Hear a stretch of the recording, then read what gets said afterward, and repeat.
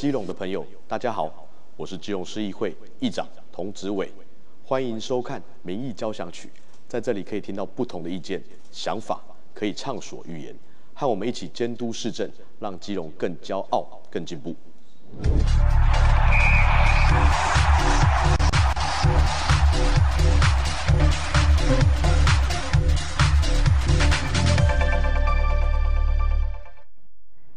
观众朋友，大家好，欢迎收看《民意交响曲》，我是蔡小军。金融市议会这个礼拜开临时会，真的是天天都精彩，日日有亮点哦。在今天的节目中，就为您邀请到三位市议员，带大家一起来监督市政，一起来关注最近延烧了一个月的火爆议题。首先为您介绍的是我们仁爱区市议员郑文婷。哎，小军好，各位观众朋友，大家好，文婷议座好。再来是我们安乐区市议员张志豪。小军好，各位家乡居民朋友大家好。志豪一座好，第三位是我们中山区市议员施伟正。小军好，各位大家大家好。伟正一座好，要先带大家来看，就是我们东岸商场的争议。我们先请伟伟正一座来跟大家分享一下，从这个产权、使用年限以及到新合约，这到底是怎么看？好的。首先这件事情呢，一开始的起因是我们张志豪议员哦，他在网络上哦有看到了基隆市政府有许多奇怪的操作，有撤公告，那有许多合约上没有公开的部分。那在我们党团呢一一同开记者会，向市府要求要公开合约的时候呢，市府迟迟不肯给哦。那到了我们进议会质询前。一个工作天，我们才拿到这份合约，才终于能够将这份合约呢，呃，公诸于世哦。那接着我们就就看到这合约的内容。首先里面看到呢，其实不管是前期的可行性评估，或者是这个合约里面哦的得标厂商，他们都有特别提到，在这个东岸商场这边呢，他们认为规划的营运营业额一年是六点四亿。那如果依照基隆市政府哦，市长谢国良他这边的说明哦，因为他在二月二十号有特别开一个直播，在市府里面有向大家说明，这个变动权利金是两千两百万一年，但是它的营业额是十二亿的这个情况，他才能够得到两千两百万在市政府哦。那这个变动权利金呢？我想，如果要以十二亿的营业额来推算的话，是否得到两千两百万？但是连可行性评估以及这个市政府和维丰所签的合约里面，上面的评估预估营业额都是六点四亿左右，那也就表示变动权利金拿到两千两百万的可能性极低。我想在这边要跟基隆市民哦特别来说明一下。现在呢，呃，维风集团他们在台北车站这里，呃，台北车站是也有一个维风台北车站广场。那这这里的这个商圈结构以及它里面的商店哦，所有建构出来的这个营业额啊，台北车站是一年它的旅客的人数大概是在四千万人次哦，但是它的营业额呢也就十二亿。那以我们基隆一整年的旅客到到访人数哦，大概差不多四百万人次，也就表示说我们是旅客到访人数是台北车站的十分之一，但是我们能够达到呃这个所谓的十二亿的营业额，我就心里面有在想说，哎，为什么？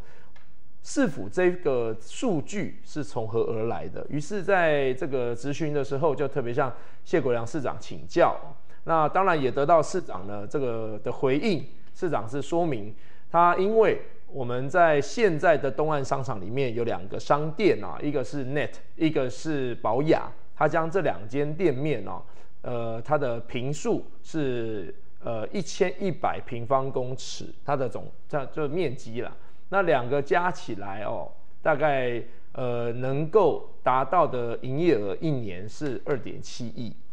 那如果以东岸商场呢，这个整个总整栋商场的面积哦，大概这两间店占了四分之一，所以以二点七亿乘以四，应该会得到十二亿的营业额。所以我觉得这个算法啊，当然以商业界来讲，这个算法这个以商业方式来推算是合理的。但是我想，如果我们以一个正常的这个公共资产，或者是以一个正常的公有设施来看的话，你就很难再用商业的思维来推算这样的空间平效。我想，基隆市最赚钱的产业，我可能有某一个公司或某一间店，它最赚钱。但是，是不是每一间店都这么赚钱？是不是每一间店都是利亚口？是不是每一间店？都是基隆市鼎鼎有名的十大名店，未必。那我们要怎么样来推算这个空间空间的合理、合理能够评估的效益？我觉得以市长这样的推算方式不尽理想。所以在这里啊，我我们也对这件事情保持的这个很高度的监督。那相对在这里向市长提出疑问，好。首先，如果以六点四亿来算，我们的变动权利金就不会拿到两千两百万。所以在这在在都显示这份合约其实要来跟呃微风签订以后，我们当然很期待微风集团的进驻能够给东岸一个新的风貌。但是同同样的，现有的厂商他在执行的过程，包含他能够提供的条件和微风对比之下，其实我们就可以看得出来，在数据上有非常大的差异。所以这也会让我们思考到，那市政府它的评量标准是不是在合约的收受的金额以外，还有其他因素，还是有没有私人因素？这才是我们这一次在议会希望体现给所有基隆市民，告诉大家，以一个基隆市议员来做监督的角色，我们怎么样来检视，以及它的合理性。我想，不管。在这个合约拿到民间企业来做评估，我相信可能在民间企业会让人家觉得你是怎么算的哦，好像可能会被老板 fire。有很多我的朋友做业务的都说，如果这份合约是我去签，然后我这份合约是在一个正常的民间公司来讲话，我去签这份合约的代表，可能隔天就被老板 fire 掉。呃，其实我们也很希望说，能够多多来让呃市市政府哦和这个德标厂商哦，希望他们能够有多一些真的对基隆市的实质回馈，也希望他们能够有多一些真的对基隆市整体景观有能够得到很好很大的提升跟注意。那再来的话，就是东岸商场其实不可讳言，它下面本体是一个停车场。它要带给基隆市的正向效益，其实还是在它整体的停车便利性，以及因为停车所有的车辆要进入停车场的那个动线哦，我们都希望它能够在更好的提升或改善，能够让要去停车的民众他们在排队的过程哦，不会受到一些这个困扰以及危险，那也能够让呃要前往基隆市其他的区域的车辆哦。和这个停车场停等的车辆，在形成交通交织的时候，不会有任何交通安全上的问题，这都是我们希望达到的。所以也是能够借由这次的监督，希望可以体现。可是有点可惜的是，市长天天都在媒体上面丢出新的东西，让我们有新的东西要去聚焦，我们没有办法就公共安全跟公共设施上面来跟市政府有效的沟通。这一点是我对于这一次临时会讨论东岸商场以及停车场非常大的遗憾。是，所以对东安商场其实有不同的期许跟注意。是。那另外当然有衍生出，其实那针对这个促餐案，是不是有不同的看法要带给使用市民？是的。呃，其实对于促餐案来讲哦，我们都希望说，透过这个促餐案，因为它是如何从 OT 哦转变成 ROT，其实在这个案子上面。我们有议会也有这个过去在这个段期间哦，呃，过去在林佑昌市府时期担任议员的每一位议员先进哦，他们都有在说明，尤其是本党的呃洪森勇议员，他就特别说明说，其实当初为什么会从 OT 转变成 ROT，也是当时的交通处处长和市议会沟通得到的共识，能够让厂商他们在这个。呃，停车场的上方呢，能够做，因为营业上的需求，能够做一些附属建物，所以才会得到现在的这个东岸商场。那呃，也有有党的议员一直在和大家强调说，这所谓的产权问题，其实产权问题就已经完整的体现在合约里面。合约里面非常清楚的表明，当这个原厂商他在经营期满后，就会应该要将这个整栋商场登记回基隆市政府。那我们打开这次的合约以及过去的合约，我们才了解到，原来前手。市政府和呃前手的厂商签的合约是五五年加三年，那后面还有个隐形的加两年，这都是因为呃林前市长他希望能够让现在的市府有一个充分的决策权，所以呢他就将五年加三年加两年这样的条件放进去。那也事实证明，五年加三年其实就能够让元首经营的厂商呃大日开发以及。它的附水厂商 Net 能够得到原先投资金额的回馈跟收益，他们能够将这成本摊提，在八年的时间内能够摊提掉。那所以我们也在思索说，如果新的促餐案在微风集团进驻，现在已经是和微风集团签约了，他们进驻后将要带给东岸商场。怎么样一个新风貌，以及所有设施上面怎么样一个更新，硬体上面是我们未来要聚焦的目标。那原来的 Net 他们就已经能够执行到这个程度了。那未来的微风他们怎么做？我们大家都会好好的来对比。是，就是在产权的部分，大家有这样的疑惑。那当然呢，我们进党团其实从很多地方来说都有。一步一步的来把这个问题给厘清解析。那接下来要带大家来看的就是媒体通路的回馈金这个部分，大家也是一直在讨论的部分。韦正是，呃，就媒体通路回馈金的部分的话，其实呃这一次也是我们民进党团大家每一位议员哦，大家都很认真的在研读这份合约。当然就在这份合约的最后倒数第二页，发现一个呃非常呃奇妙的数字，就是大概一亿多元。哦，那它的时间又是七年，那才将这个数字除以七，才得到了一九二零万一年这样子的呃回的数字哦。那我们才知道说，原来所谓的媒体通路回馈哦，是微风集团他们将会在台北市信义区他们的微风广场大楼这里呢，呃，释放出他们这一块电子看板一百二十秒。那他们认为，这个只要释放出来呢，一个月的价值是一百六十万，乘以十二个月，一年它能够给基隆市政府的回馈就是一千九百二十万。那么，但是他说至少七年，我们就非常纳闷，就在于说这项回馈它在合约里面定定至少七年，为什么不是签合约的二十加十年，而是至少七年？那再来呢？当你放上这样子的电子看板，它的选择时段是什么时候？它要达到一百六十万，它的观看次数有没有办法被量化，以及它所带来的效益？因为我想，伟丰集团他们这一块看板放在信义计划区，当然非常诱人，非常非常有广告效益，但是。上面能够剖的品牌，其实有很多都是和微风集团进驻贵位的品牌，也有像像我前几天在媒体上面看到，它的这块看板也有放上海尼跟这些知名品牌。那我想知名品牌他们本身就有足够的预算，以及他们能够在热门时段抢下这块看板。那我想微风集团因为这项是属于回馈，它能够提供给基隆市政府。的时段是什么时候？里面也没有明定。那第二件事情就是，到底在上面基隆市政府能够做到怎么样的实质宣传？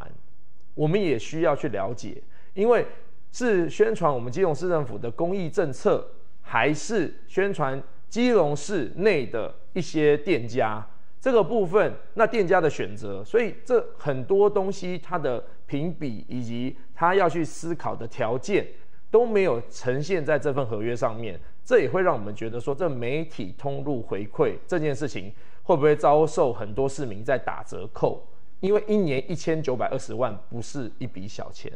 这对于我们来讲是一个非常非常需要观察的项目。就可以看到，就是其实民进党团他们对于监督市政这一块真的是。非常的一步一步做到位了。那当然啊，就是呃有一点呢，要带大家来看的就是市长谢国良公开了这个呃他的在直播上的说法，让这个民进党团觉得很生气，到底是什么？我今天讲完了，张志豪议员，哦，施伟正议员，他不会再讲这个了，不会再讲这个了。那他换一个，马上就这个没有了，再换一个。大家都太习惯你们这种套路了。但我我当我知道说这个是你们修，然后你们拿你们修的东西来砍我，然后来攻击我说，我真的觉得你们蛮无耻的。对，我小爸爸，我谢国良很少想要这样讲。但是真的，你们这样很丢脸，很不应该啦，就更小了，真的，你们很丢脸，你们民进党议会党很丢脸。民进党基隆市议员杰路市长开直播的这段话，指出基隆市长谢国良说明东岸商场争议时，直接批评民进党基隆市议会党团，相较于过去多年前为了东岸商场修法，现在却拿这个来攻击他是无耻，就更小。其中也点名到市议员张之豪以及施伟正是有套路性的在批评东岸商场的争议。对此，民进党基隆市议会党团也特地召开记者会，要求市长谢国良向民进党团以及全体市民道歉。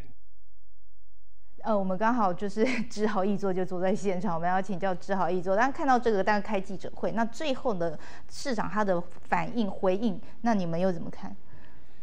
其实，谢谢小军啊。其实谢国良市长他在这个直播里面啊，为什么会这么失态啊？他其实主要就是因为他可能突然才发现到，我们基隆市议会的停车场的这个管理条例里面有一个上限三十年。那也也许也有人跟市长说，这个上限三十年是二零一五年的时候，在呃当基隆市议会里面通过的啊，提高从原本的。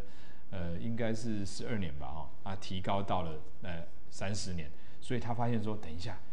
民民进党自己修的，然后现在还拿这条来骂我，张志豪议员，你还一直问我说为什么三十年？我现在才发现，就是你们民进党把它修成三十年，所以说才有三十年呐，所以你们真是无耻啊！这些其他的这些话语就这样子标出来。那其实市长在这个事情上的理解，我觉得他就是对当时整个修法的过程。是有缺理解啦。那这个其实说真的，因为当时其实我也不是市议员，所以我也是要去回去看当时的议事录，回去看当时整个议会里面讨论的状况，我们才能够理解当时的脉络是什么。所以呢，在当时他们呃，在在二零一五年的时候，为什么修这个三十年？二零一五年的时候，基隆市的停车管停车场管理条例有一个上限，它这个促餐的这个条例里面有一个上限，叫做十二年。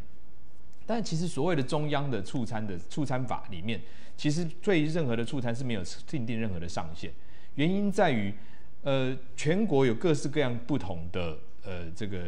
促餐的要的这个物件，有的比方说像是呃高铁，好，那它一次促餐是五十年，为什么？因为它实在花费太多太多的钱了。如果你没有拉给他时间拉这么长，让他有办法慢慢的营运、慢慢的回收的话，他可能根本就是入不敷出。就不会有人要投资了。促餐的要义就是希望让人家觉得，让厂商觉得，OK，我在这边我愿意投资，虽然时间拉了，呃，时间可以拉了一段一段时间，但是我至少有办法回本，我有办法这个获利，要有这样子的精神在。好，那所以基隆市的状况就是，我们原本的有一个定一个上限，定定那个定在那边。那对于很多我们年久失修的停停车场来说，我们急需要厂商来营愿意来营运，但是对他们来讲，这样子的时间不够长，没有办法去营运。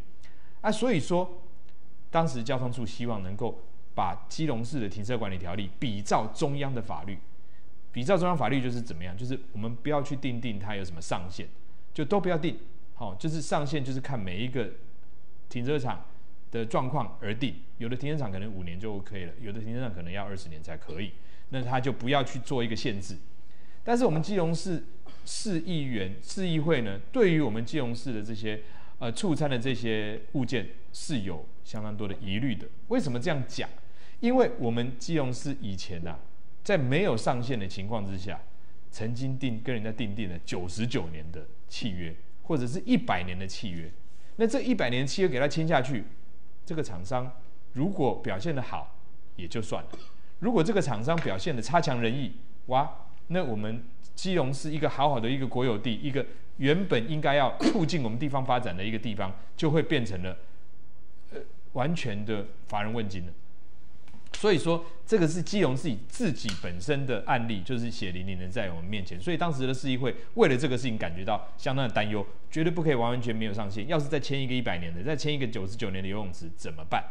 那我们这些游泳池，其实这是我们直接显著的案例，在我们中正公园旁边哦，在我们中正公园的上面就有一个清水的游泳池，现在就是停停止营业。在我们七堵这边有一个水漾会馆，也是一样，九十九年哦。哎，对，这中正公园那是九十九年，那我们七堵水漾会馆这是一百年。那当然，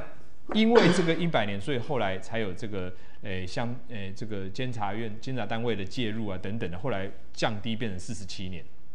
它仍然是一个很长的年限哦。所以说，在基隆市议会的角度，当然觉得促餐法很好，我们希望促餐，但是无限上纲也不行。所以说，在十二年。跟无限期的中间，我们市议会就取了一个折中，这个折中就是三十年，这个三十年就是一个上限。这个上限的意思，也就是说，不是你每一个出餐案都要三十年，而是我们要根据每一个出餐案的状况来去定定它适合它的年限。但是不用说，呃，现在现在开始所有的东西都是三十年。所以我在问谢市长说，所以为什么要让东岸商场签一个三十年的约？就谢国良市长的回答是。因为上限是三十年，所以我就要签三十年。No no no no，市场，我你就误会我的意思。我们的意思是说，上限在那里，我们都知道。但是我们现在是要问你，你要给我讲，你要期望你能够说明给我们听的是，东岸商场签三十年的原因是什么？必要性是什么？它你们里面有怎么样其他的这些促销的策略、招商的策略，对于地方发展的这些相关的这些政策的措施？希望你能够一一的跟我们市民阐述，三十年不坏，没有人会反对三十年。但但我们需要知道的事情，我们作为司仪，我们需要知道的事情是，三十年的计划怎么来的？为什么这样？那为什么会这样问？当然也是因为在微风得标三十年以前，好，当然当然这个三十年市长说这是二十加十，您说三十年，没错，二十加十，好，我们就说二十加十，二十加十的东岸商场的微风的这个案子。要拿来做比较的话，就是跟前一个，也就是大日开发或者 Net 的这个八年的案子来做比较。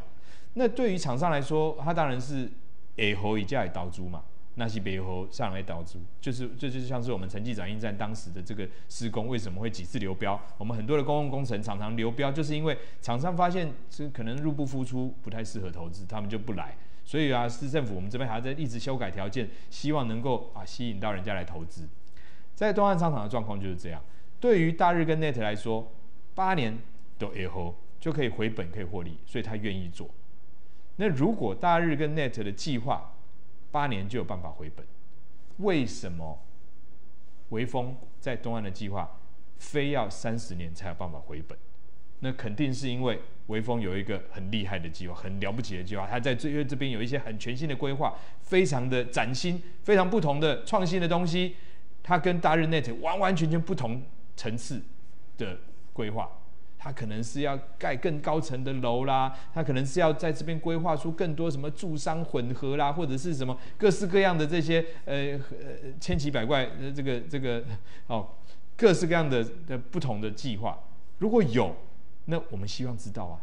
如果如果有这样子的东西，如果说这个微风它会投入更大的资本哦，超过两三亿的这个规模，还也许来个十几亿、二十亿，如果要花这么大的资本来投资金融，我们欢迎都来不及了，我们怎么还会质疑它？但是我们就需要知道为什么微风跟大日 net 他们投入的钱差不多，可是两个却差了这么多的时间，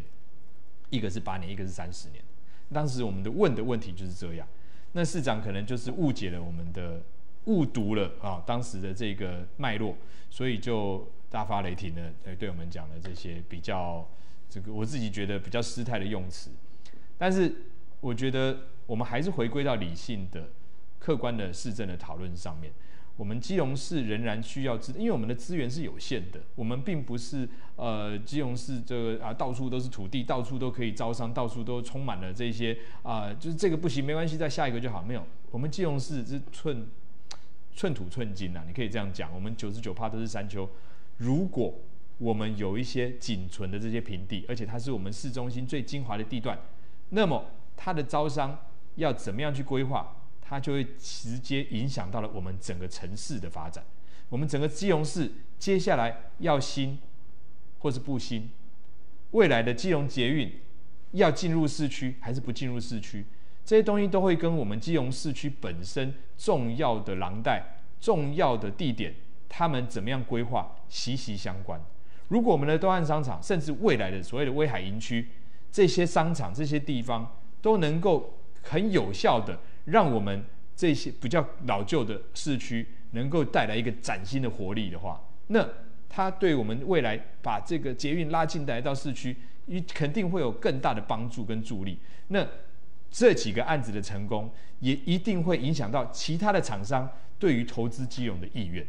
所以说。这件事情事关重大，当然这是为什么我们在议会里面要讨论这么久，也是因为什么？这个呃，也感谢我们全国大家都这么的关心。那我们金融市民当然更是哦，直接的在呃这个参与在其中哦，不管是呃你可能家就住在仁爱区，或是或是这些相关的厂商的这些啊员工家庭等等。那同时也是因为它直接涉及到了，就是我们金融未来的就业。我们就用未来的这个呃都市的发展，包括交通的规划等等，它全部都会在东汉商场这个案子里面，我们看得到。是真的。接下来我们就要请教我们的文婷立中，因为律师出身嘛，其实这个争议点就是这个新合约的续约，还有这个产权的转移，是不是有正确的做法呢？要提供。好，我想从一月三十一号的。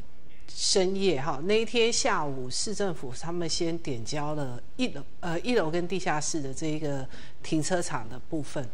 那二楼以上就是属于 Net 他们在经营的这个商场的部分，他们在二月一号凌晨进入。我们先来讲一个法律上的概念，大家如果说有买过房子，大家就会知道不动产的产产权包括所有权的登记。以及点交嘛，我们一般买房子一定会说，哎，那我现在跟你签约，什么时候过户？那什么时候来交交屋嘛？那同样的，你这一个不动产的一个整个产权的状况，在一楼也好，地下室也好，二楼到四楼都好，整个从地下四楼跟地上四楼，全部的所有权都是属于基隆市政府的这一件事情。我想，除了 Net 以外，没有人去争执这一件事嘛？好，这个是很清楚的。那 Net 他主张说他对这上面他有产权，那是 Net 的主张。市政府他要去做的是二月一号的点交这一件事情。好，他我有产权，我要去点交。那你点交的对象又是大日，那你为什么白天的时候不跟大日来进行所谓的点交，而要在半夜十二点一过的时候去开锁进去，大家最质疑的就是说，你十二点凌晨你找锁匠找警察破门而入，这到底是什么样的一个情形？如果你真正要讲，从二月一号的凌晨零时开始，Net 的强占才叫做非法的一个侵害嘛？对市政府所有权的一个非法侵害，在前面他就是属于放话嘛，他想要占用嘛。但是你市政府这么听他的话吗？他说是他的就是他的吗？不会嘛。所有权是谁的？是很是很清楚，可以可以可以去追溯得到。契约里面也好，不管是一百零五年、一百零九年，或者是呃后来市政府在今年跟微风签的契约里面。都很清楚，所有权就是市政府的，那所以你只剩下点交这件事情要去处理啊。那点交有争议，你的合约里面也有争议处理的一个程序嘛。那你觉得这程序你不喜欢、你不爱，你市政府也可以透过司法的方式去取得一个占有的一个合法的一个根根据嘛。你透过法院判决也好，你透过仲裁协会的仲裁也好。总之，你要取得一个执行名义之后，透过法院再来办强制执行。可是谢国良市长在议会备询的时候，他就开始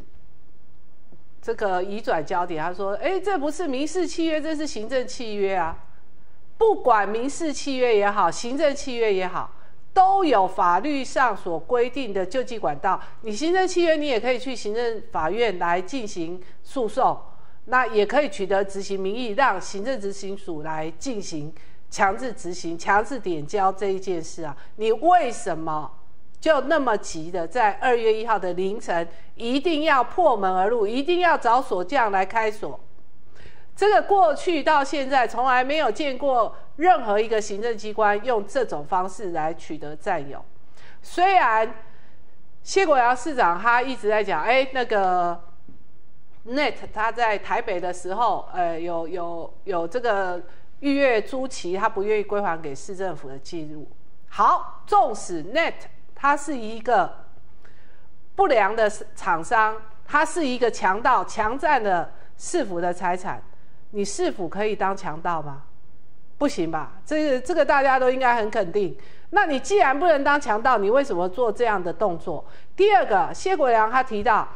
过去在小巨蛋台北市政府时期，小巨蛋的这一个呃强制的。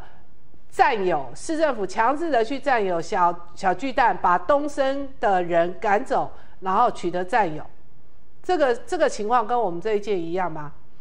东升小巨蛋那一次是因为东升已经倒了，你没有办法期待他再好好的经营这一个小巨蛋，而且也是经过催告哦，经过了几次的催告，你没有来做，市政府才按照契约的条款去取得占有，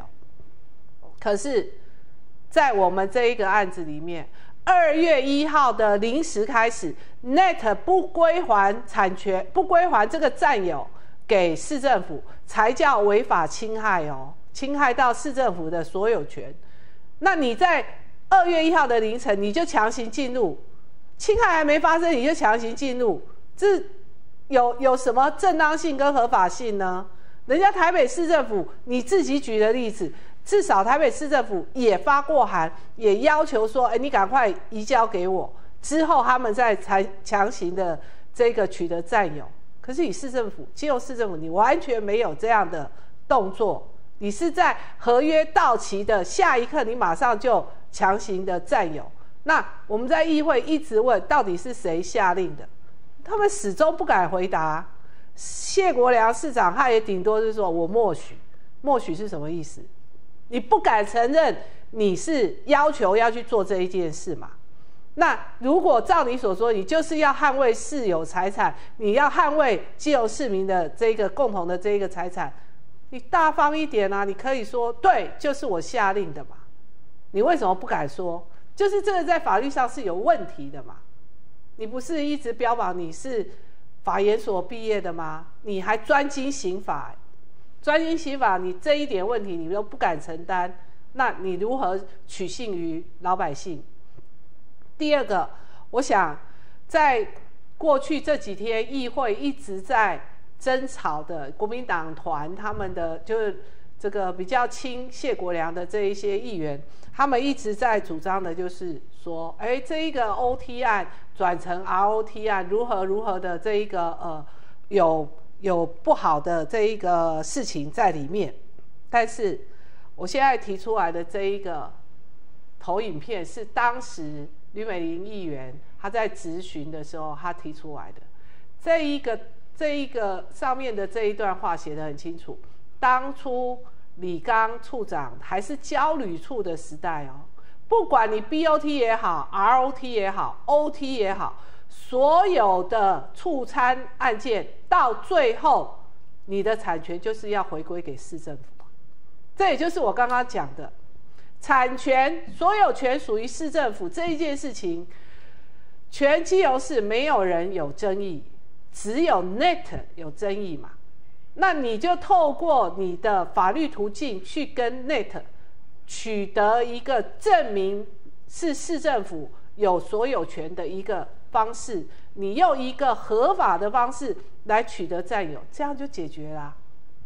你会那么听 Net 的话吗？他说有就有吗？不至于嘛。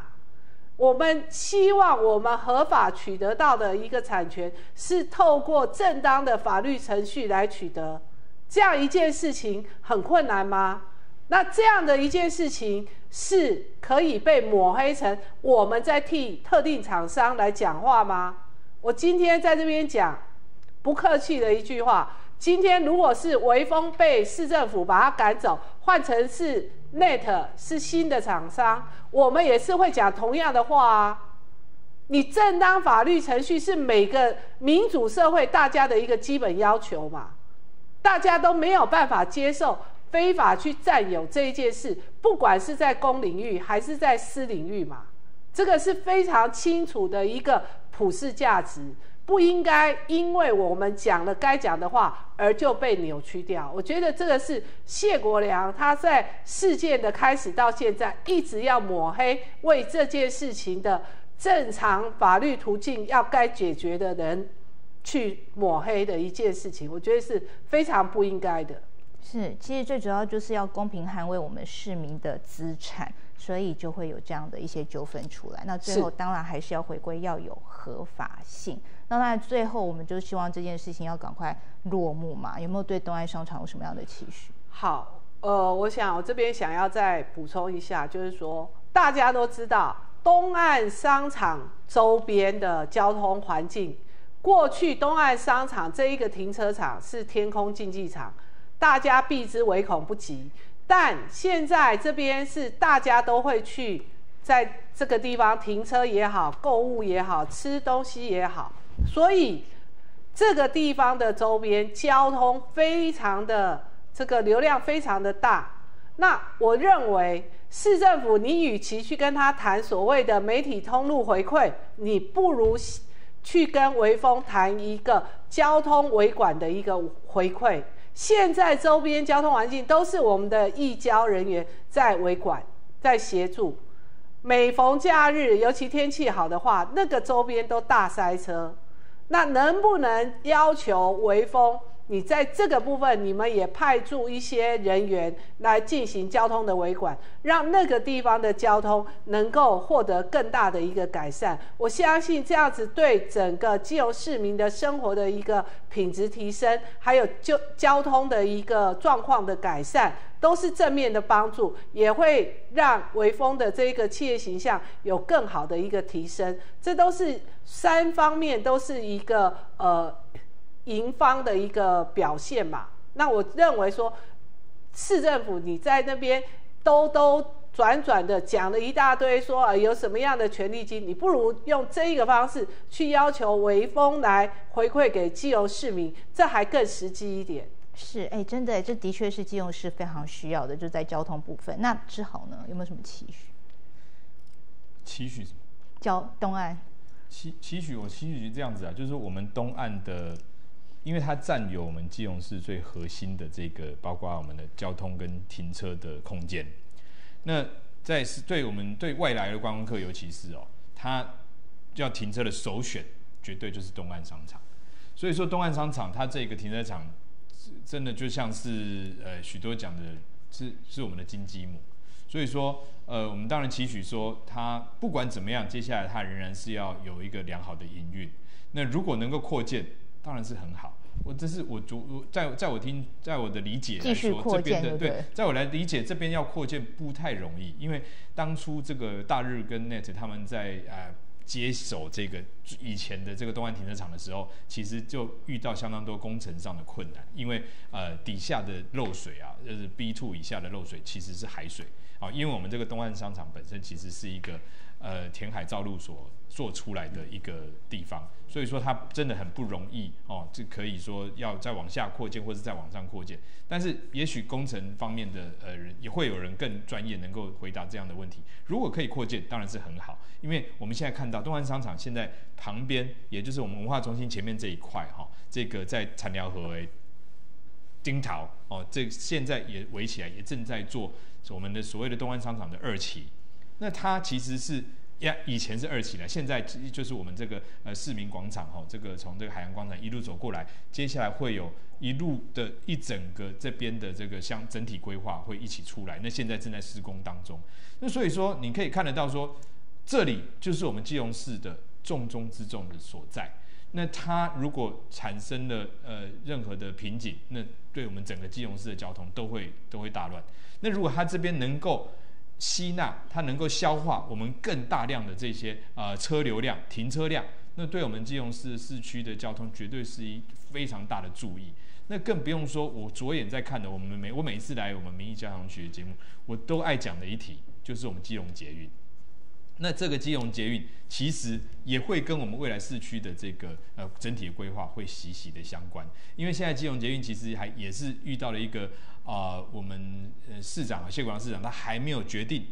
他也还没有做出这个具体的这个呃规划，说是要怎么样的去来呃让台铁跟呃，捷运可以共存，因为他的方案是这样，但是我我们不敢，我我我不认为可以两者共存，我们必须要两者一定要最后要做一个选择啦。啊，但是不管怎么样，这件事情会呃，捷运能不能通化市区，就取决于我们市区的规划有没有办法产生未来更多的人潮啊，未来更顺畅的车流，让我们基隆的市区成为一个来也方便。啊，去也方便，在这边消费，在这边购物，在这边呃，这个甚至逛街，都是一个相当舒适的体验。那这些东西就直接关系到了，好，未来我们其他的这些交通，人家愿不愿意把这个经费，把这些呃预算投资到我们基隆来的这个关键。是，就是最主要就是整体规划啦。如果规划的好，那当然投资的厂商就很愿意来到我们基隆，那我们基隆就会越来越好。那接下来要带大家来看，我们还有二十分钟，我们要来看一下，就是其实有一件御用律师的部分是有争议的，这到底是什么样的情况呢？一块来看看。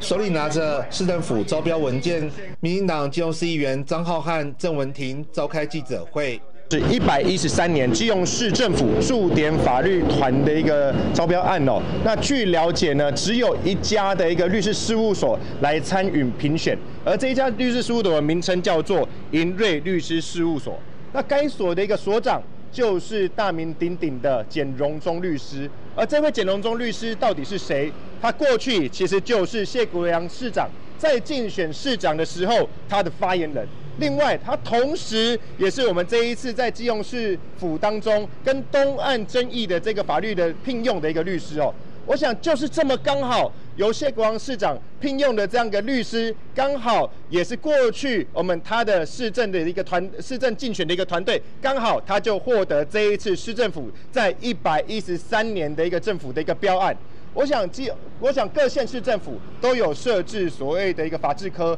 也有法律专业的人才，甚至还有我们的一个律师咨询的一个管道。其实正常来讲，如果遇到相关法律案件，应该就个别的部分来聘请相关的律师来做所谓的啊法律上的一个诉讼。然而，谢国王市长又创下了台湾有史以来第一次的一个驻点法律的一个咨询的一个系统，而这一个系统呢，也是谢国良，同时刚好就是谢国良市长的一个亲信哦。这不禁让我们怀疑，这样的一个招标案是否量身定做，来由他的亲信来做所谓的一个得标。再者，简荣忠律师他提出的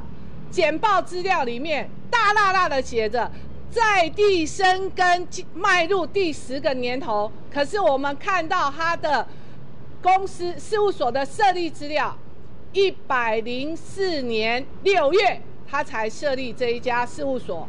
这一家事务所到今天为止还没满九年，可是你却说你已经迈入第十年，那你所谓所谓的在地生根，你的事务所也只登记在台北市跟新北市的细址。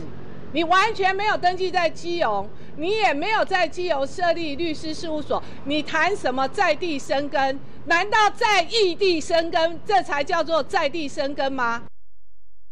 这就是我们要解释三百二十万的标案，就是大家都诟病的说这是量身定做的吗？我们请教文婷一总。我想，我我要先解释一下这个驻点律师的法律服务的这一件事情。这个从过去，我我从张通龙担任市长的时代，我就在市政府担担任这个法律免费法律咨询服务的律师，一直到我选上议员之后，那就就没有再继续做市政府的所有的法律的这个服务，大部分都是靠每天早上三个小时的这一个免费法律咨询服务在在这样做。那另外在林佑昌市长担任这个他他选上市长之后，他有成立一个法规的一个研议小组。那这个小组除了有这一个呃法制科的这一些法律专业人员之外，也有外部人员，也就是会找律师工会的会员来担任外聘的委员。那呃，而且不是只有一个，是有两三个在轮着。有时候这位律师没空，他们会找别的律师来协助。好，那其他的就是个案的部分的一个协助，从来没有看过有所谓的驻点法律的团队的一个标案，那这是第一次。那这个标案是二月七号才公告上网，二月十九号开标。那大家都知道，二月八号就开始放春节的年假。二月十六号才开始回来上班，十七、十八又是礼拜六、礼拜天。他截止截止这一个投放投入这一个标单的时间是在十七号下班前，因为礼拜那个礼拜的礼拜六是要补班的，也就是说十六号来上班，十七号他就要结结标了。那所以当然不会有律师知道，更没有透过律师工会来通知给。他们的会员让会员可以有机会来参与竞标，在十九号那一天早上十点开标的结果就只有一个律师事务所，也就是简荣忠律师的事务所来得标。那第二天礼拜二下午他们就开了侦审会议，那听说也是通过了，但到这个礼拜二为止为止，我都没有听说这个案子有绝标。啊，礼拜一。三月四号的早上是这一个契约的第一个履约的日期。按照他们的公告，三月一号履约开始。那每个礼拜一到礼拜四，驻点律师要来基隆这个市政府来驻点。结果，呃，三月一号是礼拜五嘛，所以他到三月四号是第一天要上班。三月四号一大早，我们到了法制科去询问，他们说：“哎，这个还没绝标。”问了原因，他们说啊，因为之前有一点事情。我问他什么事情，他说因为有上了媒体，所以这个礼拜会绝标。有上了媒体，所以他们不敢绝标。所以又是什么样的情况让这个案子不敢做绝标？如果你那么正大光明，你为什么不是侦审会议结束之后就该绝标？所以问题点就是出在这个案子里面有问题嘛？所以我们再翻开这个招标的相关资格的话，我们可以看到，他要求的厂商资格必须具有公司登记或者是商业登记。可是律师事务所就不是一个商业的组织，不是公司，也不是行号，我们是一个独资或合伙的组织而已。那所以，我们律师事务所要开业的话，第一个你要先向你所属的。律师工会请律师工会开具开业证明给律师，然后你拿着这个开业证明，再到税捐稽征机关去申请编派统一编号。我们就这两个东西，没有其他的盈利事业登记，因为我们也不是盈利事业单位，所以厂商资格的部分在公司的登记资料里面，在商业登记资料里面，律师事务所一概都不会有。那一概都不会有。我想请问你，这个礼拜金融市政府要如何绝标？这件事情如果没有在一开始招这个开标的时候就被我们发现的话，恐怕这个律师早就已经开始驻点。我们要讲的不是说律师不应该来驻点，而是说这是一个违反公平原则的一个标案，市政府特别。挑在二月七号来公告，二月十六、十七、十八就三天，而且十八号纵使有人看到也来不及投标了，实际上只有两天。那参与竞标的就又又是刚好是谢国良市长他在选选举的时候的发言人，跟他有非常密切的关系，而且后来被。揪出来之后，发现他们就是当初太子党里面的成员嘛，跟连胜文的关系非常好，而且也跟谢国良的关系非常好，就是你们就是巴迪巴迪的兄弟嘛，所以让人家更确信说你就是为了某些人来量身定做定做这样一个标案。你要知道，现在的律师的职业环境是非常困难的，每年有将近一千个律师投入这个市场，所以年轻律师他们有时候不容易接到案件，他们只能到法律辅助基金会来做一些公益的案件，每个案件了不起就是一两万块。可是你放着这么这么好的一个标案，一个月是三十二万的收入，哎，十个月三百二十万，你给你的自己人，这样子符合公平正义原则吗？国国家也好，社会也好，我们市政府的公帑是这样子花的吗？但这一件事情被我们揭穿之后，我们的主办科法制科竟然说没有，这个是要实做实销。就是说，你你如果是写法律意见书一份看多少钱，写存证信函一份看多少钱哦，这个要核实的来来销案。问题是我们在这个标案里面完全看不到这样的一个记录，他就是扎扎实实一个月可以请到三十二万。你只要每天来驻点八个小时，一个礼拜四天，一个月就是三十二万。如果是像我们法制科科长所讲的，他是案件计酬，那应该是一个开口合约。你为什么在标标案上面没有这样子注明呢？第二个，如果是开口合约，如果案件记仇，你应该多找几家律师事务所啊，做不完的多一点人来帮忙做啊，不是吗？所以这一整个案子里面，让人家觉得他的疑点重重，让人家无法确信说你这一个标案是公正、公公正、公开，而且是公平的一个标案。所以就是其实要诉求的就是公平公正嘛，我们志豪。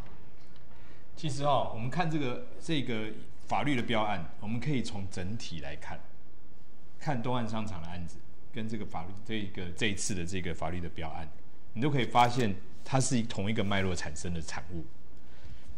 如果今天东岸商场这么大，其实东岸商场这个案子哈，当初这个新闻出来的时候，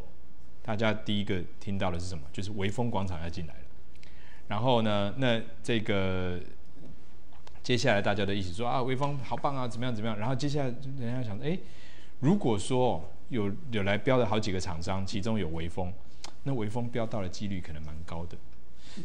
为什么大家马上？我们基隆市民一听到第一个，马上可以想得到，就会就可以是这样。我们不需要再更多的证据，也不需要再更多的资讯。我们只要听到谢国良跟维峰，我们觉得哎，那可能是维峰会标到。同样的道理，在简荣中律师都已经陪同谢国良，不论不论是选举，不论是呃一开始这事情初始的时候的陪他开记者会，而且直接是以这个呃律师的身份去来讲这些相关的法律见解，然后。我们出来这个标案，然后就是简荣中标到，怎么样听起来？如果是简荣中要来标，肯定是简荣中会标到。谢国良如果要开这个标标案的话，为什么大家都会这样想？其实这样想是正常的。我们本来人的本性，我们照照常理来判断，就觉得一定是会是如此。但是问题是，政府并不是这么的常理的判断，它必须要顾及到公平的原则，也就是说。纵使谢国良跟简荣忠很好很好，而且简荣忠在这个案子已经付出了相当多的法律的这些心力跟时间都花下去了，但是如果你要做一个政府的标案，你就不得不做照着程序来，而这个程序很有可能最后会不是简荣中标到，可能会是别的律师事务所标到，可能是别的这个律师来标到，但是这个就是政府公平的这个游戏规则，它所必然会产生的风险。它有，它会让任何可能有办法出做到最好的计划的人标到。东岸商场的案子也是一样，维风好不好？维风相当的好，它是一个经营的很好的一个呃企业集团。但是在东岸的这个标案里面，我们需要看到的事情，不是只是维风很好，所以我们一定要让他进来，而是他进来的光明正大，他进来的正正式式，他是合法合理的。进驻到这里来，因为不管我们喜欢不不喜欢，未来的二十到三十年，我们基隆东岸商场，我们都必须要跟微风共处。所以，我们为什么要让跟微风共处的这三十年，是一个这么难堪、这么奇怪的开始，是一个三更半夜去给人家强期夜袭商场、强制点交的开始。微风在台湾基隆的三十年的开始，竟然是由一场夜袭开始的。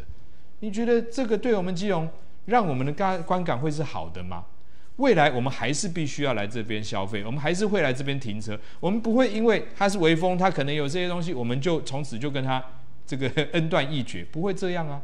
但是正因为如此，我们更希望看到的是，我们有一个兼顾到公平、兼顾到程序正义的市政府。因为整个基隆市，